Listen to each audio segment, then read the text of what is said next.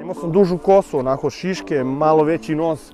Kad me pu- pubertet krenuo da me drma i ovi kao, vidi ga lisac, znaš. I idemo tu ovim parkom u centru i on meni kao, do kraja parka da me tvojar ima takla, razumeš? Mm. Ja rekao,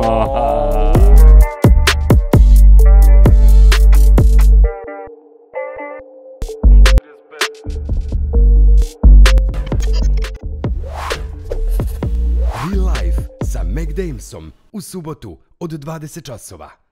Toxic TV i Toxic Rap TV.